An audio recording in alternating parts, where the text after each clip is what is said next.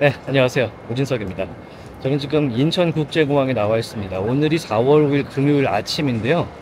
어, 제가 지금 인천공항에 나와 있는 이유는요. 저희가 홍콩에 가게 됐습니다. 홍콩에서 열리는 홍콩 최대 웹3 행사에 어, 참가를 해서 지금 홍콩에서는 crypto 어, 코인 거래소가 다시 문을 열었고요. 또 여러 가지 규제가 풀리면서 비트코인 ETF까지 어, 승인이 되고 출시가 될 것이라는 전망이 많기 때문에 굉장히 아시아에서 핵심 지역으로 손꼽히고 있습니다. 그래서 직접 홍콩에 가서 어떤 분위기인지를 저희가 직접 전해드릴 수 있도록 그렇게 좀 계획을 하고 있습니다. 또 홍콩 하면 또 관광지도 많고 맛집도 많지 않습니까?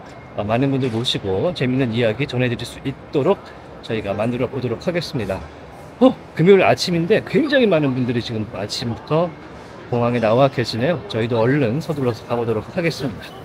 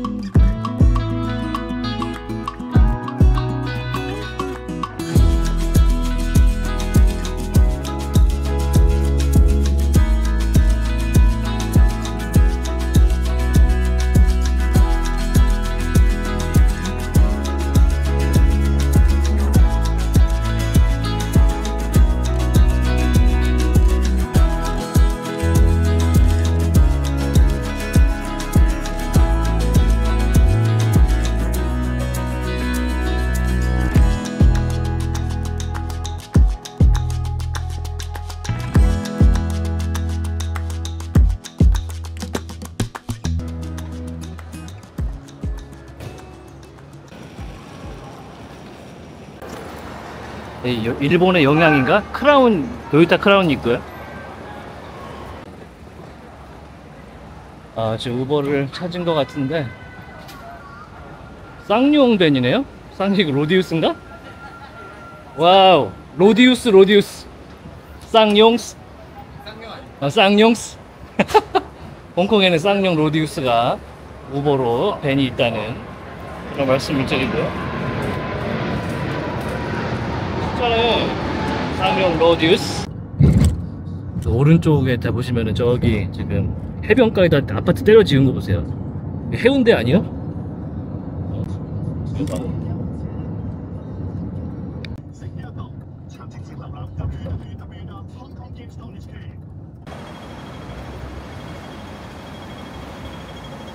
일단은 홍콩에 왔습니다. 홍콩이 굉장히 어 제가 생각한 것보다는 동남아 느낌도 있으면서 약간 우리나라랑 비슷한 것 같기도 하면서 뭐 부산 해운대 같기도 하면서 뭐 그런 게 좀 있어요. 그렇지 않습니까? 네, 날이 아주 뜨끈뜨끈하고 습도가 아주 높습니다.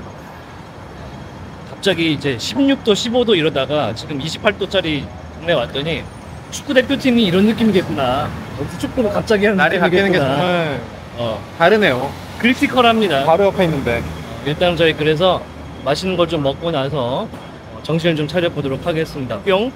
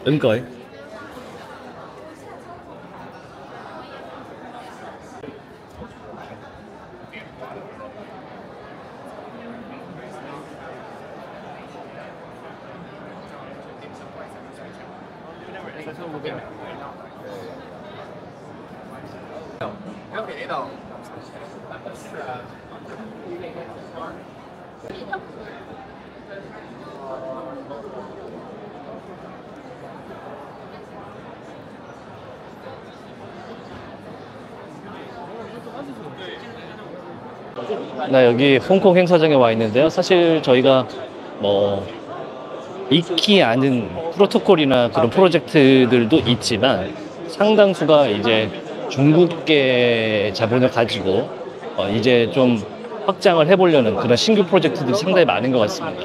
어 보면은 어 인도계도 상당히 많은 것 같고요. 특히 러시아 쪽의 어 프로젝트들도 상당히 많은 것 같아서 어 신선한데 어 지금 트렌드를 좀 보면은 대부분이 디파이 쪽을 상당히 많이 하려고 하고 있다 그런 생각이 듭니다.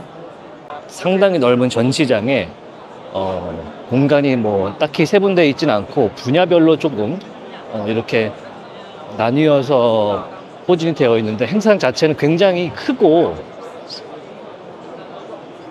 볼거리가 많은 어, 그런 형태로 좀 돈 냄새가 난다 어, 그렇게 보시면 될 것 같습니다.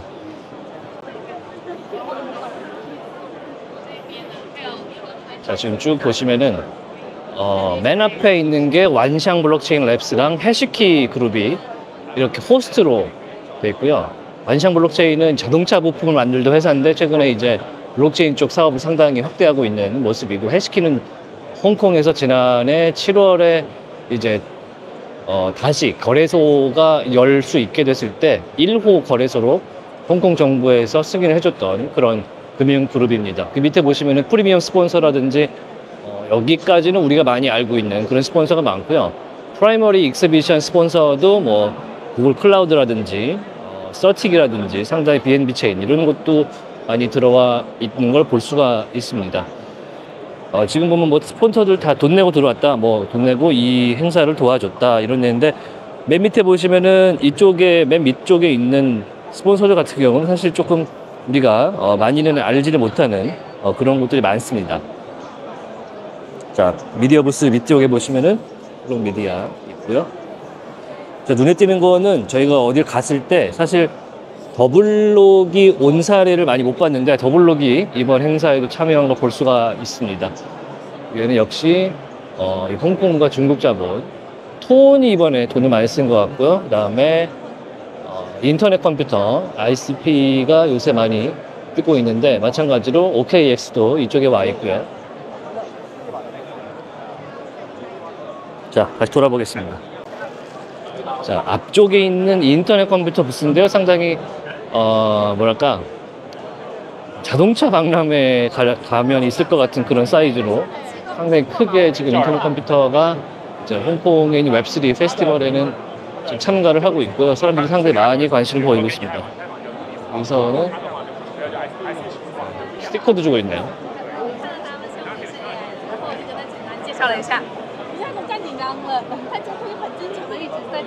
반대편에는 Polkadot이 있습니다. 오랜만에 최근에 이제 Polkadot이 다시 좀 어, 재정비를 해서 어, 최근에 그 어, 그동안의 부침을 좀 극복해 보겠다 가격적으로 어, 그런 모습들을 볼 수가 있는 것 같습니다. 자, Polkadot 부스가 여기 있고요. 그리고 여기는 뭘까요? Layer One Blockchain for Real World WA RWA를 하는 Zetrix라는 어, 그런 프로젝트인 것 같습니다. ZA 뱅크, ZA 뱅크는 뭐라는 걸까요? 해시키랑 OKX가 함께하고 있는 뱅킹 서비스라고 하는데 웹3 기반으로 어, 운영이 되고 있다고 쓰여 있는데 일단은 어, 우리나라 같은 경우는 뱅킹이라는 단어를 어, 하는 것 자체가 이제 금지시 되어 있기 때문에 조금 어, 색다른 모습이고. 자 여기는 SlowMist라는 프로젝트가 있습니다. 어, ecosystem security 보안 업체잖아요. SlowMist 우리가 아는 어, on-chain 분석을 통해서 어, 예를 들어서 자금 세탁 방지에 관련된 부분들이 위반하는 것이 있는지를 모니터링하고 어, 그런 업체로 SlowMist 상당히 중국계로서 이름이 어, 알려져 있는 분명히 어, 그런 회사입니다. 실력이 있다고 알려져 있고요. 어, 수많은 뭐 북한 해킹도 마찬가지고 그런 잡아냈던 전적이 있던 그런 어, 블록체인 관련 보안 업체입니다. 어, SlowMist 중국계인 만큼 확실히 지금 문 바로 앞이에요. 바로 앞쪽에 지- 진여 포진되어 있는 것도 볼 수가 있습니다. 그리고 Meet48, Meet48이라고 하니까 어, 일본계가 아닌가 싶은데 일본 가면은 이제 AKB48이라고 하는 아이돌 프로젝트들이 있잖아요. 뭐 기수도 있고 지금 보시면 이 내용을 보면 어, 약간 메타버스라든지 아바타를 활용한 그런 아이돌 프로젝트인 것 같습니다. 그래서 이제 48이라는 상징적인 내용인데 지금 보시면 내용이 굉장히 사이버틱하게 그렇게 펼쳐져 있는 모습도 볼 수가 있습니다. 여기는 텔레그램을 통해서 이제 웹3를 구현한다고 하는 어, 그런 프로젝트죠. 톤입니다. 어, 굉장히 심플하고 어, 여긴 약간 뭐랄까 웹2 IT 회사 같은 느낌의 부스를 어, 만들어 놨습니다. 텔레그램 톤이 요새는 이제 게임 관련된 플랫폼으로 확장하려는 모습을 보이고 있고 지난해 저희 블록페스타에서도 한국 BD가 직접 강연을 나서서 어, TON이 이제 앞으로 어, Web3 crypto 관련된 게임 플랫폼으로도 확장할 수 있을 것이다 라는 이야기를 했었는데 여기 스티커도 있네요 스티커 몇 장 가져갈까요? 좋습니다 그래서 TON이 그 텔레그램 같은 경우는 crypto 생태계에서는 상당히 중요한 역할들을 하고 있기 때문에 앞으로 좀 지켜봄직하지 않나 라는 생각이 듭니다. 좋습니다. 아 이거 뭐야? 뽑기인가? 자 티셔츠가 들었어요. 어, 예쁘겠네. 티셔츠가 이제 뽑기네. 배지랑 티셔츠가 들었는데 이거를 어떻게 받는지는 잘 모르겠습니다 여기는 payment company 쿤이라는 회사인 것 같습니다. 어, payment 뭐 crypto를 통한 지불 결제 업체고요. Kava 어, EVM을 Cosmos상에서 구현하겠다. 뭐 cross-chain 관련된 그런 프로젝트로 보이는데 우리나라에서도 Kava라는 이름이 뉴스에도 상당히 많이 나왔었던 적이 있습니다. 자, 카바 USDT, 카바를 통한 USD 테더 결제 뭐 이런 것들을 실행하고 있는 이 부스 자체가 약간 그 지급 결제 관련된 라인이 아닌가 이렇게 생각이 됩니다. 자, 여기 Rollux라는 곳인데요. Secured by BTC. BTC 관련된 어, modular layer. 역시 여기를 설명을 잠깐 볼까요? 어, 비트코인 layer 2라고나 할까요? 뭐 그런 개념으로 비트코인 어, layer 위에서 뭔가를 할 수 있는 비트코인 관련된 어, crypto economy를 만들겠다. 뭐 이렇게 얘기가 되고 자, 이렇게 쓱쓱 지나가겠습니다. 여기 게임.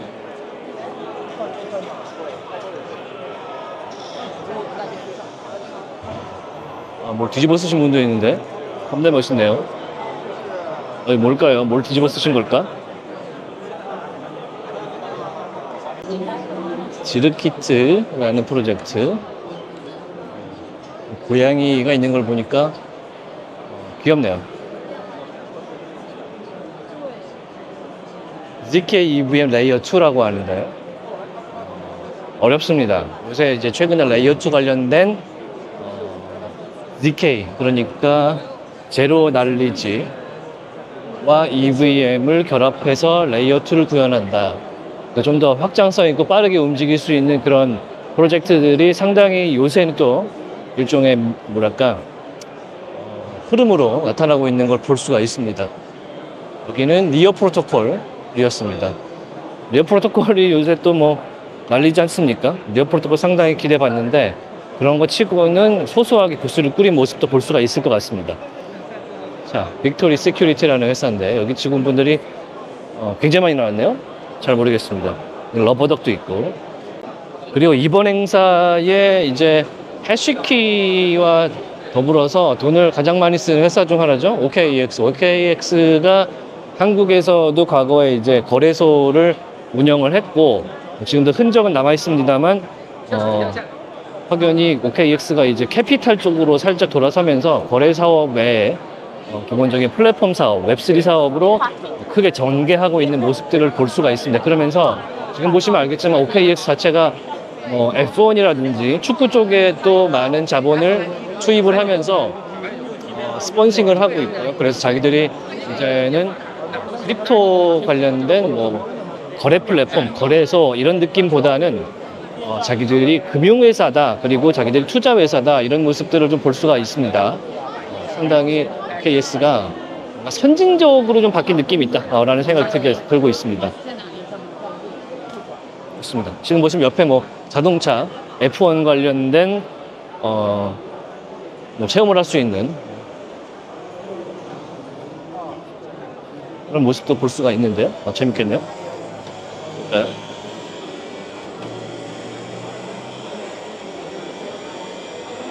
OKX가 지난해도 싱가포르 그랑프리 때도 OKX의 그 네이밍이 달린 스폰서가 공개가 된 F1 그 머신이 어 이제 경주에 나오면서 상당히 인기를 끌었고 그러면서 그게 풀 프로모션 효과가 상당히 있었던 걸로 제가 알고 있습니다. 그래서 계속해서 OKX가 F1에도 투자를 좀 하고 있다.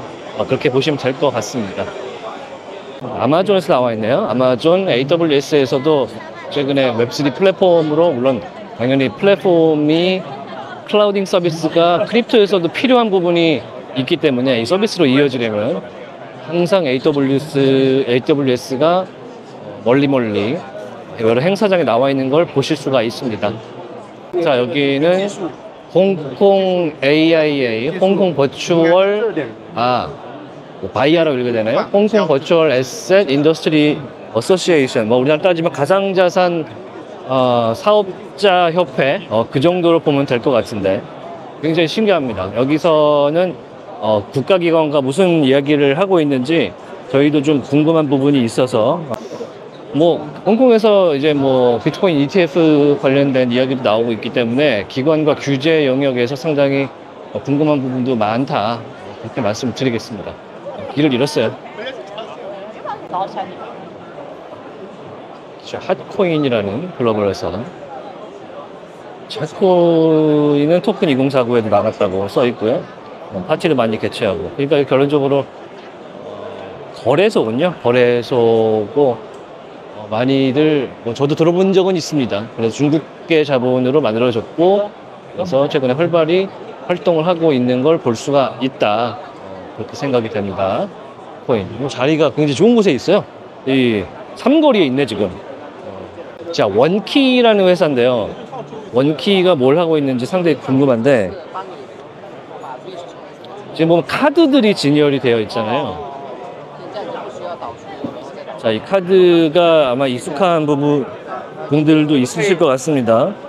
이게 아마 카드가 연동된 뭐 신용카드를 넣을 수 있는 연동된 뭐랄까요? hard wallet 업체군요. 이제 알았어요. OneKey는 hard wallet 업체인 걸로 확인이 되는데 아, 굉장히 compact하고 휴대폰이나 신용카드 같은 느낌을 줍니다. 그래서 그래서 이제 인기가 상당히 많고 그 요인은 아마도 실물을 가지고 나왔다. 그래서 매력 포인트가 좀 있기 때문에 이것들은 이것들도 지금 하드웨어 wallet인 것 같아요. 그리고 여기 아이폰처럼 생긴 친구들도 하드웨어 월렛이고요. 그렇습니다. 약간 아이폰의 컨셉을 가지고 어, 그렇게 제조가 된 것 같습니다. 실물들이에요. 어, 움직이는 제품들입니다. 하드웨어 월렛이고 자 이쪽이 메인 스테이지고요. 지금 오다겐키 가상자산 일본 연합회 회장하고 어, 나와서 지금 이야기를 하고 있는데 홍콩 Digital Asset Association 회장도 여기서 지금 이야기를 하고 있습니다. 사람이 굉장히 많습니다. 果将来是三千万、四千万， 자, 구글 클라우드도 역시 AWS처럼 여기 와서 지금 홍보를 하고 있고요. 스타트업을 지원하는 사업들을 전개를 하고 있다고 합니다.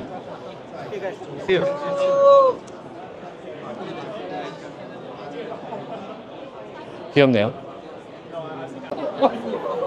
여기는 이제 소규모 부스인데 오히려 이런 쪽이 쏠쏠하게 발전하는 부스들이 상당히 많습니다. 그래서 어, 뭐랄까 특히 코인이라든지 airdrop이라든지 그렇게 Web3 쪽에서는 뭐 아주 큰 회사들은 아닙니다만 자기들이 열심히 하고 있다는 걸 어필하기 위해서 어, 여기 다 나와 있는데요. 대부분이 역시나 중국 업체들입니다. 어, 중국말로 된 어, 설명만 많이들 갖고 나왔고 그래서 제가 물어봐도 알아듣지 못하는 그런 모습을 볼 수가 있겠습니다. 자, 여기는 일본에서 오신 분들이에요. 일본에도 여러 가지 체인을 연합을 해서 하는 모양새가 있는데, 일본은 이제 거래소에 상장되는 코인들이 상당히 제한되어 있습니다. 그래서 어, 여러 가지를 코인들을 좀 연합회 측에서 모아서 추천하는 방식으로 거래소에 상장되게 되는데 어, 주요하게 지금 키를 잡고 있는 곳은 이제 일본의 주요 금융권 미쓰비시 같은 그룹에서 키를 잡고 있는 회사의 그 주요한 체인 라인이 하나가 있고요. 그 다음에 나머지 특히 altcoin들이 모인 어, 그런 연합회 측에서 지금 아마 이 부스를 함께 어, 차린 것 같습니다. 뭐 재팬풀이라고 해야 될까요? 그 생각이 되고 이거 오른쪽에 보시면은 뭐 앞에서 미쓰비시라든지 여러 금융사들이 모인 어, 그런 연합 체인, 특히 stable coin 쪽으로 많이 연구를 하고 있는데 여기서는 이제 조금 더 현실적인 분야로 나가기 위해서 회사들이 많이 어, 연합돼 있다. 저기 보시면은 도코모도 있고요. 오른쪽에 후지츠도 있고 그다음에 어, 그 외에 우리가 아는 기업들이 상당히 있기 때문에 금융권에서는 우리가 흔히 아는 어, 일본의 stable coin과 이쪽에서는 open chain은 조금 결이 다르다. 이더리움 compatible이라고 써 있는 거 보시면은 아실 수가 있겠습니다. 자, 알케미페이 여기 있고요. 신기한 프로젝트가 세상에 참 많습니다. 어, 이런 데 오면 그런 걸 느껴요. 아, 정말 Web3라는 게 뭐 adoption이 잘 안 되고 뭐 아직 멀었고 하지만 이걸로 어, 자기의 삶을 지탱하고 부를 창출하고자 하는 사람들이 세상에는 굉장히 많습니다. 그래서 이런 행사 올 때마다 놀라고 특히 중국 관련된 행사, 홍콩이나 싱가포르에 있는 그 Web3의 힘이 뭐랄까 우리나라에서는 뭐 아직은 니네는 뭐, 뭐 이종 취급을 당하지만 홍콩 같은 경우에는 Web3라든지 cryptocurrency industry에 대해서 이제 기존의 금융권과 똑같은 입장에 가깝게 그렇게 인정을 하는 그런 모습들을 볼 수가 있거든요. 그래서 상당히 어, 신선한 그런 모습들을 볼 수 있고 또 신기한 것이 하나 있습니다.